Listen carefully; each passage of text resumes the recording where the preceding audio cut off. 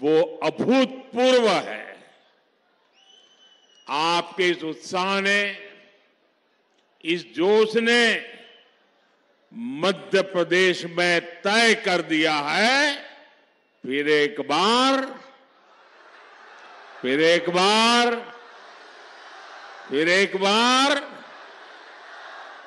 मध्य प्रदेश के मेरे भाई बहन 17 नवंबर को इतिहास रचने के लिए घर से निकलेंगे। ये चुनाव है मध्य प्रदेश के विकास को डबल इंजन की रफ्तार देने का। ये चुनाव है नौजवानों को, महिलाओं को आगे बढ़ने के नए अवसर देने का। ये चुनाव है कांग्रेस के लूट और भ्रष्टाचार के पंजे को फिर कभी भी मध्य प्रदेश की तिजोरी पर हाथ न लगा देने का। आपको याद रखना है, कांग्रेस का पंजा छीनना जानता है। लूटना जानता है। और आपका तो अनुभव है, जहाँ जहाँ कांग्रेस आई, तबाही लाई। मेरे परिवारजनों, जैसे जैसे 17 नवंबर की तारीख नज़दीक आ रही है, वैसे वैसे कांग्रेस नेताओं के दावों की पोल खुलती जा रही है।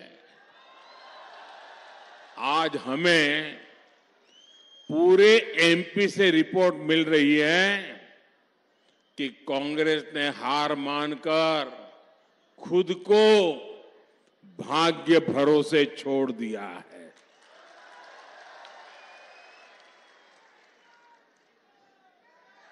अब साधु महात्माओं के पास दोरे धागे के लिए जा रहे हैं। कुछ नसीब खुल जाए। और कांग्रेस के जो पुराने लोग हैं, वो तो कहीं नज़र ही नहीं आ रहे आधे अधूरे मन से वो बेचारे जाते, अब क्या करें?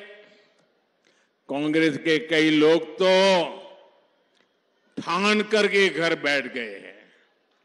उनका बाहर निकलने का भी मन नहीं कर रहा है। हर कांग्रेस को लगता है किस मुँह से इन लोगों की बात करें।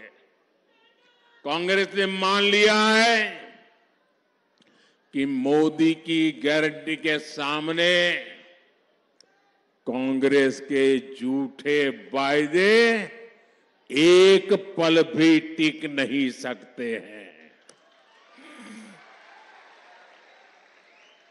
साथियों, मोदी की गारंटी का मतलब क्या होता है? आज पूरा हिंदुस्तान जानता है।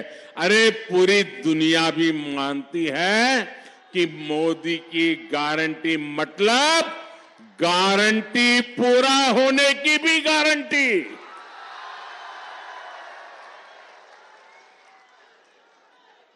अब देखिए ये कांग्रेस वाले छत पर चढ़ चढ़ करके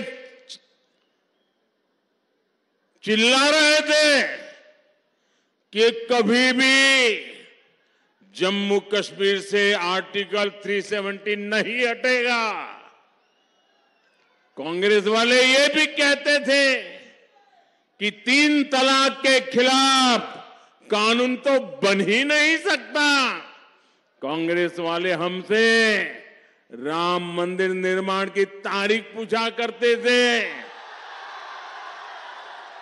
अरे करतारपुर कॉरिडोर के लिए भी सवाल उठाते थे। इन लोगों को पता नहीं है, ये मोदी किस मिट्टी का बना है। ये नर्मदा का पानी पी करके बड़ा हुआ है।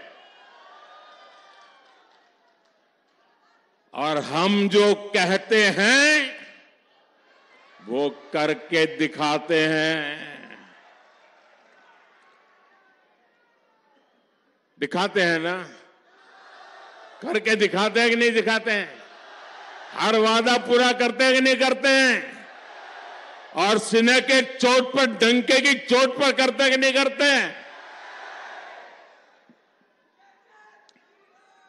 कांग्रेस ने दशकों तक आदिवासी समाज के वोट बटोरे, झूठ बोलकर वोट पाए, लेकिन सड़क, बिजली, पानी, स्कूल, अस्पताल ऐसी सुविधाओं से आदिवासियों को कांग्रेस ने हमेशा वंचित रखा। आप याद रखिएगा, कांग्रेस जो वायदा करती है, वो कभी पूरा नहीं करती है। आपको याद होगा, पिछली बार कर्ज माफ़ी का वायदा सरकार बनने के ढेर साल, डेढ़ साल डेढ़ साल बाद तक ये लोग पूरा नहीं कर पाए, लूटने में पड़े रहे। वहीं दूसरी तरफ़ बीजेपी है, जो जितना वायदा करती है, उससे भी ज़्यादा करने का प्रयास करती है। आप हमारा कोई भी घोषणा पत्र देख लीजिए। क्या कभी भी हमने घोषणा पत्र में लिखा था कि हम आदिवासी बेटी को देश की राष्ट्रपति बनाएँगे। लिखा था कहीं? कहीं नहीं लिखा। लेकिन हमारे दिल में आपकी जगह है। और इसलिए जब मौका आया तो भाजपा आदिवासी गौरव को मान देती है, आपकी भावनाओं को समझती है। और इसलिए एक आदिवासी बेटी गाँव में पैदा हुई बेटी, गरीब परिवार में पैदा हुई बेटी, द्रौपदी मुर्मू जी आज देश की राष्ट्रपति है और देश का नेतृत्व कर रही है। ये भाजपा सरकारी है जो देश भर में आदिवासी सेनानियों के, आदिवासी संस्कृति के भव्य स्मारक बना रही है। ये क्षेत्र सरदार गंजन सिंह कौर को और सरदार विष्णु सिंह गौंड की भूमि है। कांग्रेस ने कभी ऐसे वीरों को याद नहीं किया। कुछ दिन पहले जबलपुर में रानी दुर्गावती के शौर्य और गौंड संस्कृति को प्रदर्शित करने वाले भव्य स्मारक का शिलान्यास करने का आप सबने मुझे सौभाग्य दिया है। और कल जैसा मैंने कहा, पूरा देश भगवान बिरसा मुंडा के जन्म दिवस को जनजातीय गौरव दिवस के रूप में मनाएगा। और कल जनजातीय गौरव दिवस पर आदिवासी समाज के विकास के लिए चौबीस हज़ार करोड़ रुपए की एक बहुत महत्वपूर्ण योजना भी केंद्र सरकार शुरू करने जा रही है। साथियों गरीब कल्याण की योजनाओं के लिए भाजपा सबसे आगे बढ़कर काम करती है। मेरे गरीब भाई बहनों की चिंता को समझते हुए हमने मुफ़्त राशन की योजना लागू की। आपको याद होगा, कोरोना के समय कितनी भयंकर स्थिति थी। मौत मंडरा रहा था।